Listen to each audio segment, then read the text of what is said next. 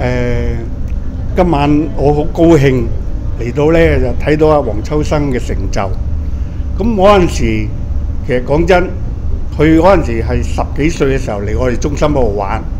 咁嗰陣時我帶佢行山，咁啊其實講真，即係有時會碰撞行錯路嘅。咁啊估唔到今次咧呢套戲咧，原來就係講我點樣帶佢行錯路啊！咁但係卒之咧，都係行出一條正確嘅路出嚟。咁啊將我睇嘅時候，我就突然間我有一個好好大嘅感觸，就係、誒、好似講翻我以前同佢之間發生嘅事。